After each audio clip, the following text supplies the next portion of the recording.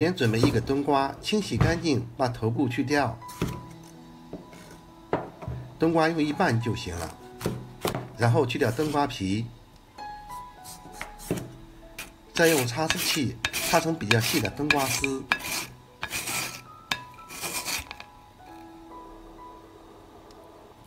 再准备半根玉米，把玉米粒削掉。切好之后装盘备用，再整，再把胡萝卜先切片，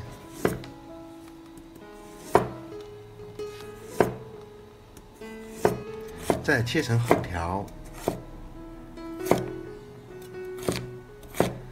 最后切成丁。切好之后装入盘中备用。木耳提前泡发，切成丝。和玉米放在一起，喜欢吃火腿肠的可以加两根，把它先切成条，最后切成丁。切好之后放入碗中，再切点葱花，接下来再准备一点大蒜，切成末。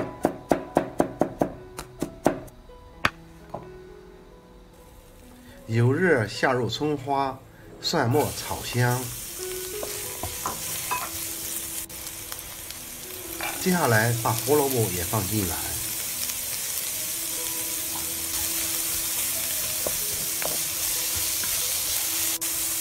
最后加入清水，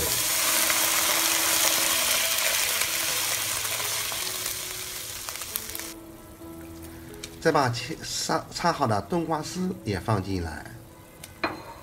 再准备好，把准备好的玉米、木耳、火腿肠也加进来，大火煮十分钟。碗里面加入一勺淀粉，再加入清水，水开后加入盐、蚝油、白胡椒。生抽调一下味儿，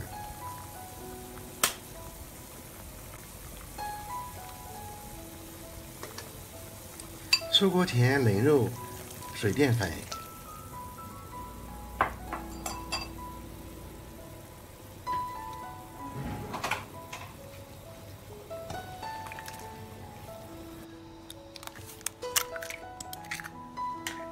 准备两个鸡蛋打入碗中。搅散备用。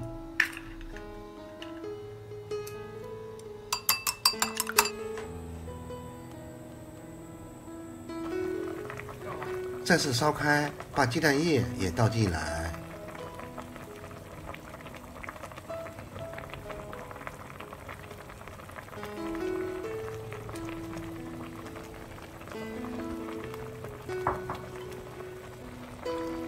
最后加点香油。就可以出锅了。这样的冬瓜汤味道真是好鲜美啊！清淡不油腻，特别适合干燥的秋天，就应该多喝些。喜欢可以试试。谢谢你的观看，下期再见。